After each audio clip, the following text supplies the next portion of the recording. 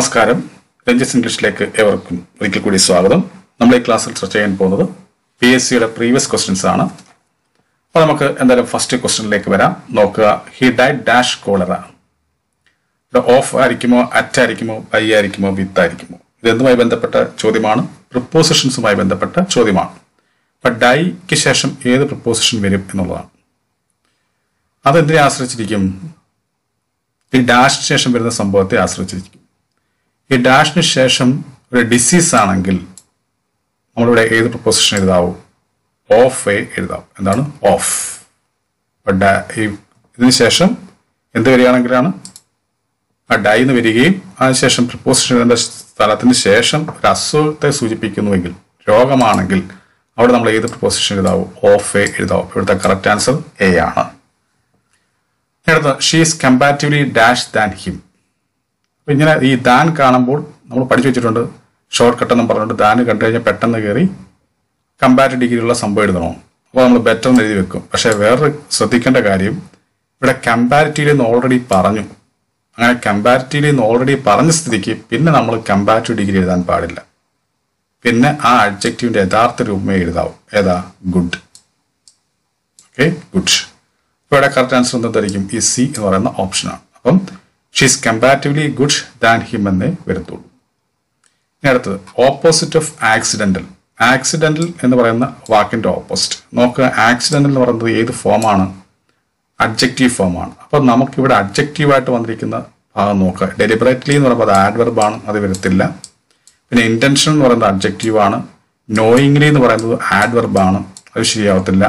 പിന്നെ അൺആക്സിഡന്റൽ അപ്പൊ ഇതിനകത്ത് അഡ്ജക്റ്റീവ് ഫോം വന്നിരിക്കുന്നത് ഇന്റൻഷനിലും അൺആക്സിഡന്റലുമാണ് ആക്സിഡന്റിന്റെ കറക്റ്റ് അന്റോണിയം എന്ന് പറയുന്നത് പറയുന്നതായിരിക്കും ഇന്റൻഷണൽ എന്നായിരിക്കും. എന്തായിരിക്കും? ഇന്റൻഷണൽ അപ്പോൾ അങ്ങനെയാകുമ്പോൾ ഇവിടുത്തെ ശരിയായിട്ടുള്ള ആൻസർ എന്ന് പറയുന്നത് ഏതായിരിക്കും? ഈ പറയുന്ന ബി എന്ന് പറയുന്ന ഓപ്ഷൻ ഇന്റൻഷണൽ എന്നുള്ളതാണ് correct answer.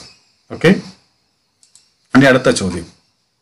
The poem lamenting the dash അത് മരിച്ചു പോയ ഒരാളെ കുറിച്ച്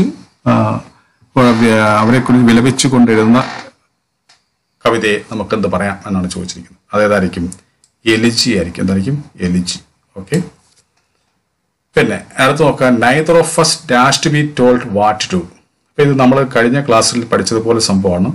നൈതർ ഓഫ് ഫസ് ഈ നെയ്തർ എന്ന് വന്നു കഴിഞ്ഞാൽ പിന്നെ നമ്മൾ ചിന്തിച്ചോണം. പിന്നെ എന്തേ വരത്തുള്ളൂ? സിംഗുലറേ വരത്തുള്ളൂ.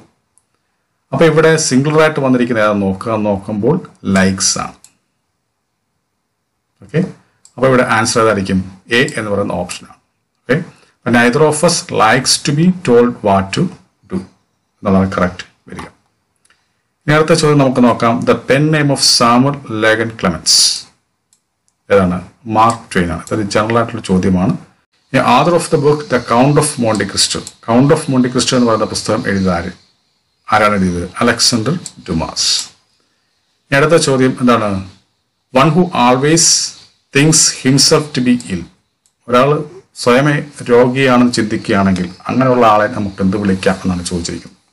സോംനാമ്പുലിസ്റ്റ് എന്ന് വിളിക്കാമോ? അതോ പ്ലിവിയോഫിൽ എന്ന് വിളിക്കാൻ പറ്റുമോ? മിസ്സോ പൊജോനിസ്റ്റ് എന്ന് വിളിക്കാൻ പറ്റുമോ? അതോ വാൽറ്റൂരിയൻ എന്ന് വിളിക്കാൻ പറ്റും ഏതായിരിക്കും? ഡി എന്ന് പറയുന്ന ഓപ്ഷൻ ആയിരിക്കും. വാൽഡിറ്റോറിയൻ എന്ന് പറയുന്നതാണ് കറക്റ്റ് ആൻസർ ഓക്കെ ഡി ആണ് ശരിയായിട്ടുള്ള ആൻസർ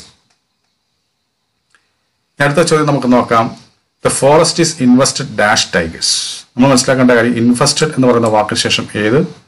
ആ പ്രപ്പോസിഷൻ വരും എന്നുള്ളതാണ്. ഇൻവെസ്റ്റഡിന് ശേഷം വേണ്ട പ്രപ്പോസിഷൻ ഏതായിരിക്കണം? വിത്ത് ആയിരിക്കണം. അതായിരിക്കണം വിത്ത് ഇൻഫസ്റ്റഡ് വിത്ത് എന്നേ നമ്മൾ പറയത്തുള്ളൂ. The forest is infested with tigers എന്നാണ് വരേണ്ടത്. ഇനി അടുത്ത ചോദ്യം നമുക്ക് നോക്കാം. They are generous to everyone generous is ഇവിടെ സ്റ്റേറ്റ്മെന്റ് തന്നിരിക്കുന്നു. അവർ എല്ലാവരോടും ജനറസ് ആണ്. അപ്പൊ അവർ എന്താണെന്നാണ് പറയുന്നത്? അപ്പൊ അവർ ജനറസ് ആണെന്ന് പറയുമ്പോൾ അവരെ വിശേഷിപ്പിക്കുകയാണല്ലോ ഈ ജനറസ് എന്ന് പറയുന്ന വാക്ക്. ദേ എന്ന് പറയുന്നത് പ്രൊനൗൺ ആണ്. പ്രൊനൗണിനെ നൗണിനെ വിശേഷിപ്പിക്കുന്നുവെങ്കിൽ അതിനെ നമുക്കെന്ന് വിളിക്കാം? അഡ്ജക്റ്റീവ് എന്ന് വിളിക്കാം. എന്ന് വിളിക്കാം? അഡ്ജക്റ്റീവ് അപ്പോൾ എടുത്ത ശരിയായിട്ടുള്ള ആൻസർ എന്തായിരിക്കും? ഈ ബി എന്ന് പറയുന്ന ഓപ്ഷൻ ആയിരിക്കും. അപ്പോൾ they are generous to everyone here generous is adjective ആണ് ശരിയായിട്ടുള്ള ആൻസർ നോക്കുക. The meaning of renaissance renaissance എന്ന് പറയുന്ന വാക്കിന്റെ മീനിങ് ആണ് ചോദിച്ചിരിക്കുന്നത്. റീബർത്ത് ആണോ റീ യൂണിയൻ ആണോ റീകളക്ട് ആണോ റീസ്റ്റാർട്ട് ആണോ? എന്താണ്?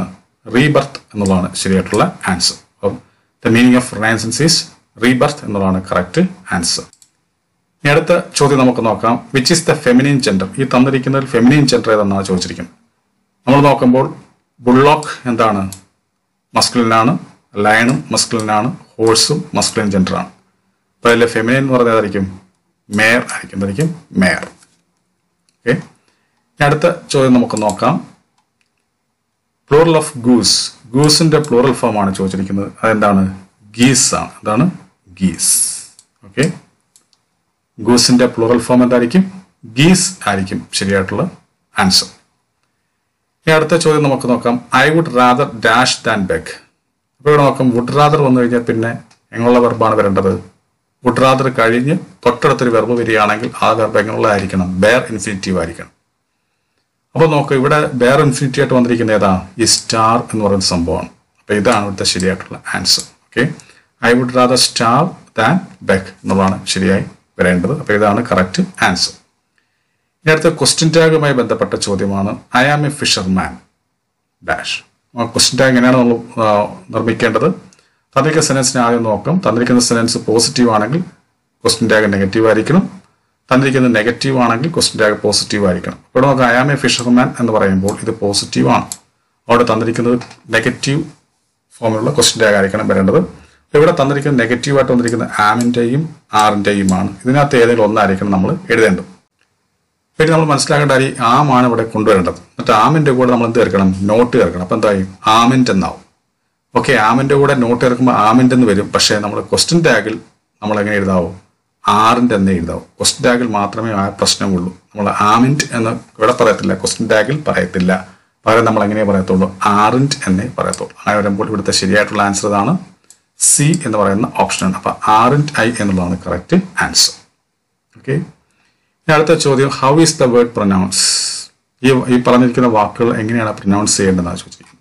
അങ്ങനെ എക്സ്റ്റൻസീവ്നെസ് എന്നാണ് പറയേണ്ടത്. അപ്പോൾ അങ്ങനെ ഇവിടെ കറക്റ്റ് ആൻസർ ഈ പറയുന്ന എ എന്ന് പറയുന്ന ഓപ്ഷനാണ് ശരിയായിട്ടുള്ള ആൻസർ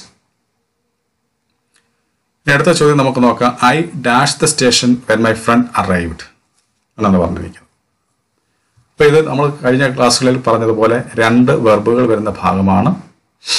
അവിടെ ഒരു വെർബ് സിം എന്നെ നോക്കാം. അറൈവഡ് എന്ന് വന്നിട്ടുണ്ട് ഈ അറൈവഡ് എന്ന് പറഞ്ഞ സിമ്പിൾ പാസ്റ്റ് ആണ്.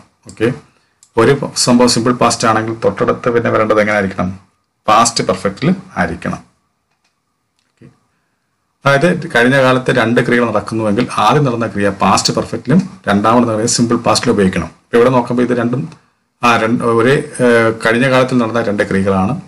അവയിൽ ആദ്യം നടന്നത് പാസ്റ്റ് പെർഫെക്റ്റിലാണ് രണ്ടാമത് നടന്നത് സിമ്പിൾ പാസ്റ്റ് ഇവിടെ അറയുടെ നടന്നത് സിമ്പിൾ പാസ്റ്റിൽ തന്നിരിക്കുന്നു. അതിൽ നിന്ന് നമുക്ക് വ്യക്തമായി എന്ത്? ഇത് രണ്ടാമത് നടന്ന ക്രിയയാണ്. അപ്പോൾ ഇനി ആദ്യം നടന്ന ക്രിയ ഏത് ടെൻസിലായിരിക്കണം? പാസ്റ്റ് പെർഫെക്റ്റിലായിരിക്കണം വരേണ്ടത് അങ്ങനെ ഇവിടെ പാസ്റ്റ് പെർഫെക്റ്റിൽ വന്നിരിക്കുന്ന ഏതാണ്? ഈ ഹാഡ് ലെഫ്റ്റ് എന്നുള്ളതാണ്. അപ്പൊ അങ്ങനെ ആകുമ്പോൾ ഇവിടെ ശരിയായിട്ടുള്ള ആൻസർ അതാ ഡി എന്ന് പറയുന്ന ഓപ്ഷനാണ് ഓക്കെ അടുത്ത ചോദ്യം മാസ്റ്റർ പീസ് മാസ്റ്റർ പീസ് എന്ന് പറയുന്ന വാക്കിന്റെ അർത്ഥമാണ് ചോദിച്ചിരിക്കുന്നത്. വളരെ ബിഗ്ഗസ്റ്റ് എന്ന് ചാൻസ് ഉണ്ട്. അല്ല ഏറ്റവും വലുതെന്നല്ല ഏറ്റവും മഹത്തരമായതെന്നാണ് ഉദ്ദേശിക്കുന്നത്.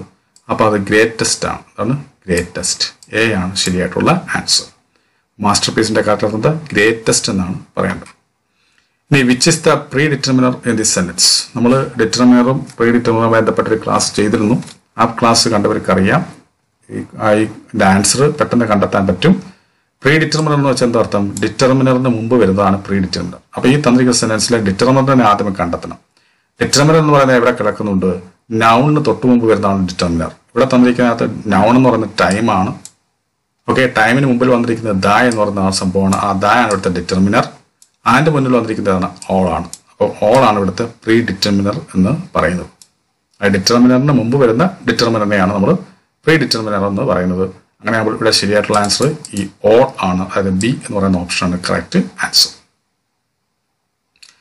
അടുത്ത ചോദ്യം നമുക്ക് നോക്കാം. The ballot is stronger than bullet whose words ആരാണ് പറഞ്ഞത്? ജനറൽ ആയിട്ടുള്ള ചോദ്യമാണ്. ആരാണ് പറഞ്ഞത്? എബ്രഹാം ലിങ്കൻ ആണ് പറഞ്ഞത്. ഓക്കെ നമ്മൾ ഈ ക്ലാസ്സിലേക്ക് മനസ്സിലായിട്ടുള്ള വെച്ചാൽ ലൈക്ക് ചെയ്യുക ഷെയർ ചെയ്യുക. അതുപോലെ തന്നെ ആദ്യമേ എന്റെ ക്ലാസ് കാണുന്ന ആരെങ്കിലും ഉണ്ടെങ്കിൽ തുടർന്നുള്ള ക്ലാസ്സുകൾ ലഭിക്കാൻ വേണ്ടി താഴെ സബ്സ്ക്രൈബ് ബട്ടൺ ക്ലിക്ക് എന്റെ ചാനൽ സബ്സ്ക്രൈബ് ചെയ്യുക. പലർക്കും നല്ലൊരു വിജയം ആശംസകൾ നടത്തുന്നു നന്ദി നമസ്കാരം.